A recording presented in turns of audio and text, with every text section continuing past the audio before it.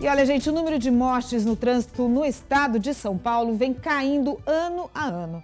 Mas isso não é motivo para relaxar, não, viu? Afinal, a imprudência continua sendo a principal causa dos acidentes. Dirigir em cidades paulistas está menos perigoso. Pelo menos é o que mostra um levantamento feito pelo Detran.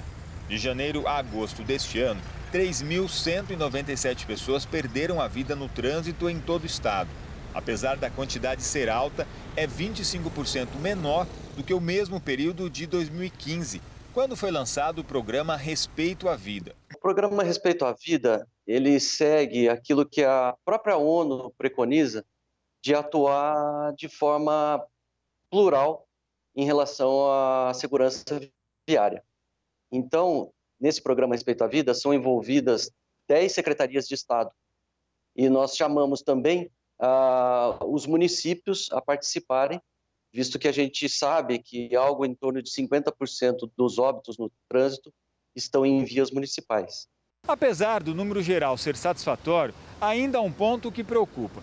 Se for levar em consideração, por exemplo, apenas os acidentes envolvendo as motocicletas, a redução praticamente não existiu. Nos oito meses deste ano, 1.250 motociclistas morreram em acidentes de trânsito. Em 2015, foram 1.255 redução de menos de 1%. O Diego quase entrou para essa triste estatística. Depois de bater a moto em um carro, ele ficou gravemente ferido. Chegou a perder a sensibilidade do corpo. Eu fiz seis meses de fisioterapia, só montei em cima da moto para trabalhar novamente depois de um ano, né? Porque depois disso vem toda aquela, aquela questão do medo, né? O psicológico da gente mexe bastante. O Leandro também usa moto para trabalhar e já sofreu acidentes, mas reconhece, no caso dele, foi por imprudência. Eu acabei tomando uma fechada porque eu não vi o motorista dando seta. Ele deu seta no final, só que eu, por imprudência própria, fazendo outra passagem pela direita, ele acertou minha roda de trás e eu caí. A imprudência pode ser uma das explicações para não ter havido queda nos acidentes fatais envolvendo os motociclistas.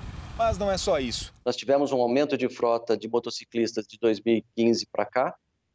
É, a questão do isolamento social, mais recentemente, é, retirou veículos do, do viário e então aumentou a, a velocidade, né? E também é, pode, pode estar relacionado ao aumento do e-commerce, né? É o comércio virtual que, que provocou um aumento de demanda por entrega de, por motofrete. Para que os números possam baixar, o respeito ao trânsito e à vida precisa ser mantido por todos. Agora eu tomo mais cuidado sim, isso aí você tem, tem a lição para a vida toda, porque eu tenho uma família e tal, tem que pensar não só em mim, mas no, no pessoal do trânsito também, todo mundo envolve acidente, pô, vidas em jogo, não é legal.